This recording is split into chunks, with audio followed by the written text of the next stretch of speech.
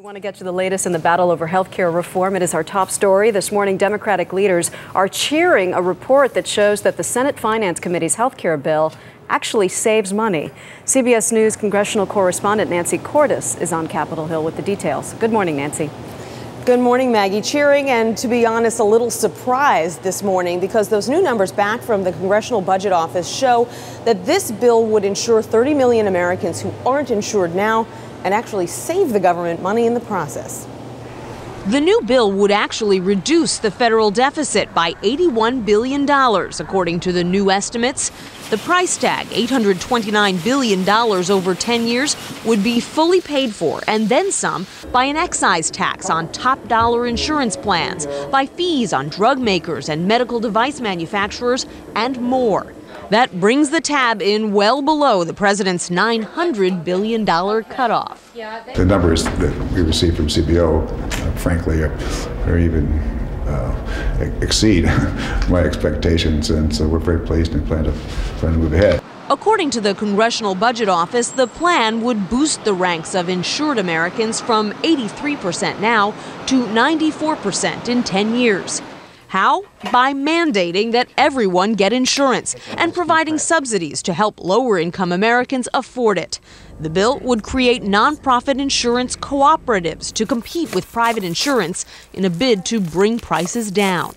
Your average family will have security they don't have. They won't they'll know they won't lose their insurance if they lose their job.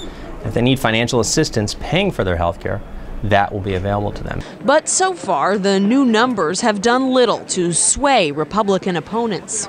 If you take the years 2013 through 2023, you'll find that it's a very, very expensive bill.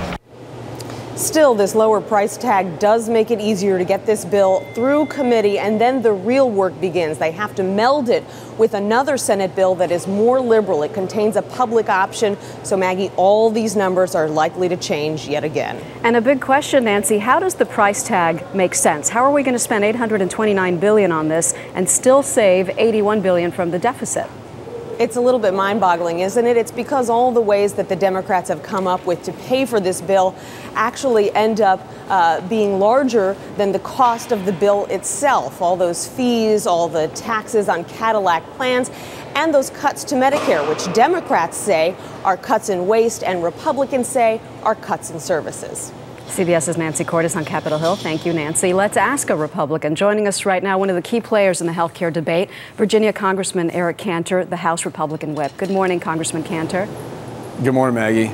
Do you think that these things, these uh, tax increases, these fees, these cuts to Medicare up front, are a reasonable price to pay for health care reform? I mean, won't we have to give up something to make this happen? Well, Maggie, let's look at it. The claims that we're saving 81 billion by spending 829 billion, um, you know, you can you can say that if you want to go ahead and really rob Peter to pay Paul, and that's exactly what's going on here. Uh, their way that they are expanding coverage is by taxing uh, employers, is by taxing those of us who have insurance, and frankly, to the tune of $500 billion. And they're adding on top of that $400 billion worth of cuts to Medicare, which is that will mean seniors will have less opportunity, less benefit, less um, ability to choose the kind of health care that they want. And, and, you know, this is not the kind of health care reform that's going to actually bring down costs that will provide coverage to all Americans.